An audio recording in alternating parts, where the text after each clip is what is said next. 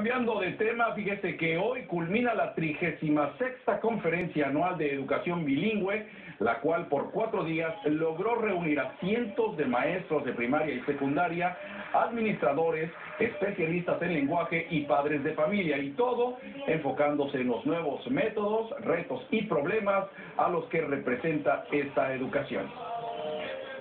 que es lo más importante de la educación bilingüe, es conservar el, el, el, biculturismo, hablar los dos idiomas, tanto como en la cultura y en la lengua. Y eso es lo más importante de ser bilingüe y lo que la, el, el programa bilingüe le da al estudiante. Si todos los padres nos involucramos en los comités de las escuelas, que son de DILA, ILAC, para que apoyen lo que viene siendo el bilingüismo, nosotros vamos a llegar muy lejos.